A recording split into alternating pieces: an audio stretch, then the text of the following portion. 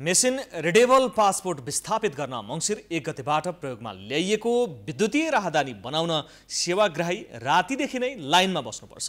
माग बढी तर सरकारी सुस्त शैलीको कारण सेवाग्राहीले राहदानी बनाउन निकै झमेला खेप्नु परेको छ। एक रिपोर्ट। देशमा रोजगारी नहुँदा लाखौँ नागरिकहरू विदेशिन बाध्य छन्। दैनिक जसो यो क्रम बढ्दै गएको छ। यो राहदानी विभागमा पासपोर्ट बनाउन आउनेको भिडले स्पष्ट पार्छ।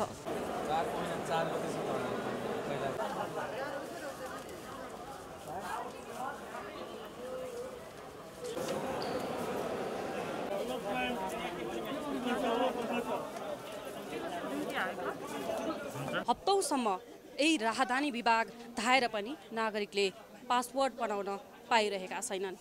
भिडौँ भिडमा उनीहरू ठेलमठेल गरेर पासपोर्ट बनाउनकै लागि राहदानी विभाग धाइरहेका छन्। मैले गर्न सक्ने रोजगार त्यो काम दियो भने त यहीँ बसिन्छ नि। बाहिर जानु कुनैलाई नि आफ्नो फ्यामिली आफ्नो दाजुभाइ छोराछोरीहरू छोडेर कसैलाई नि जान रहर त छैन नि।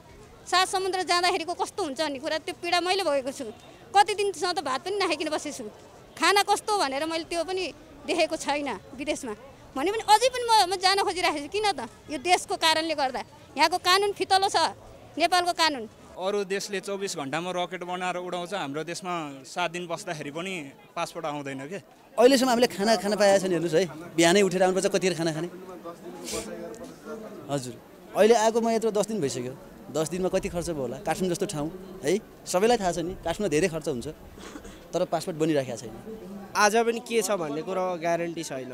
अब पासपोर्ट छापिएको छ या छैन या अरू फर्म भर्नुपर्ने हो भन्ने केही हुन छ यहाँनिर केही पनि हो छैन। इन्फर इन्फर्मेसन ला पाउनको लागि यहाँनिर धेरै नै धेरै एकदम परेसानी हुन्छ।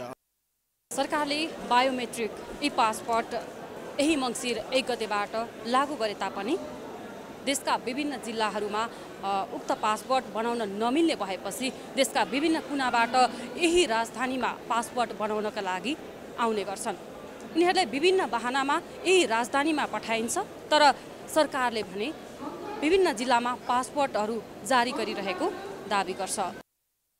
सबै जिल्लाका मान्छे अनि काठमाडौँमा बस्ने मान्छे जिल्ला नजाने अनि जिल्ला गए पनि जिल्लामा त्यो किसिमको इन्फर्मेसन प्राप्त गर्ने अनि त्यसपछि यहीँ पासपोर्ट आउने। अनि उहाँहरूको बुझाइ के छ भने यहाँ त आएर फारम भरिसकेपछि तिन दिन पाइहालिन्छ नि भन्ने।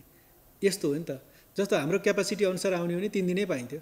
तर हाम्रो क्यापासिटीभन्दा ट्रिपल्स आएपछि त तिन दिन भन्ने कुरो भएन। दैनिक यसै गरी लाखौँ युवाहरू विदेशी भूमिमा पसिना बगाउन जान बाध्य छन्।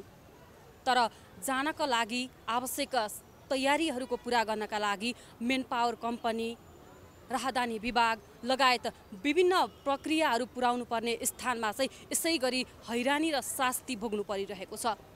त्यसैले आम युवाहरूका लागि कि देशमै रोजगारी सृजना गरिदिनु पर्यो? होइन भने बाहिरिनका लागि पनि आवश्यक तयारी पुरा गर्नलाई सहज वातावरण सृजना गरिदिन आवश्यक रहेको छ। क्यामेरामा अमृत भट्टका साथमा सृजना कार्की काठमाडौँ।